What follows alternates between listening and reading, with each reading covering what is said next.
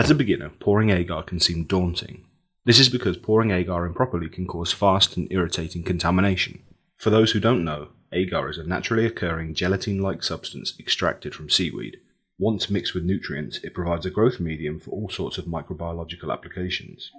In mushroom growing, agar has many uses. It can be used to isolate cultures from contamination, test cultures' viability, expand existing cultures, isolate single spores, and preserve cultures for long periods of time, among a myriad of other uses.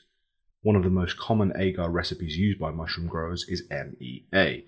There are thousands of different jars, pots, and dishes you can pour agar into. I use these polypropylene deli pots from Amazon.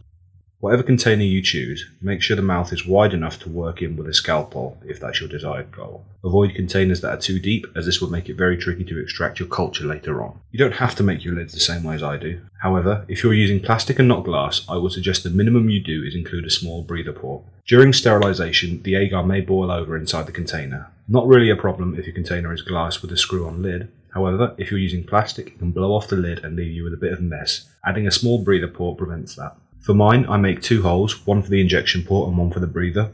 I start by punching a quarter inch hole in the centre for my injection port. Make this smaller than the injection port, that way you can squeeze it through and the injection port will self-seal around the hole. I sell these in my shop, links are in the description. I then make a 330 second hole somewhere around the edge for the breather port. I use a punch tool that I got off Amazon, but you could easily use a hot needle, paper punch, or even a belt punch. Just make sure it can punch a hole big enough. Next, I squeeze the injection ports through. You can see it bulges out, it's always better to undercut the hole and squeeze them through. I then tape over the breather with micropore tape. If you wanted to get a bit fancier, you could secure some Tyvek over the hole with micropore tape, but the tape alone is fine for the breather purposes. Remember this hole isn't for gas exchange for the mycelium, it's for the cooking process. There is plenty of air inside the container for the mycelium to grow. Sometimes these deli pots aren't the cleanest and they can have residual tags from the injection moulding process. Make sure you rip these off as they may cause the lid to seat improperly. I use malt extract agar at 20 parts agar, 20 parts malt, and 1000 parts water. You can buy MEA kits from my store. Simply blend it in the correct ratios with warm water until the malt and agar dissolve. With MEA, there will always be little bits floating around. These are just crystallized and burnt sugars, so nothing really to worry about. I pour these dishes 5 to 10 ml deep, depending how steady my hands are. These deli pots are 100 ml, so I pour around 20 ml in each. Pouring too deep is a waste of agar, as it's unusable by the mycelium, while pouring too shallow may cause the agar to curl up and dry out prematurely.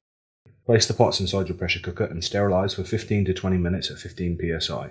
Don't stack them more than two high as the heat and the weight of the pots may weaken and distort the plastic. If you want to fill your PC up with these, you can use a round cake cooling rack like these. Just make sure it fits your pressure cooker's diameter. And use an appropriate item as a spacer. Once sterilised, allow the PC to cool naturally. Force venting will definitely blow the lids off the deli pots, even with the breather holes. I tend to keep one or two pots in my incubator for a few days to grow out any potential contamination, if there is, as a control.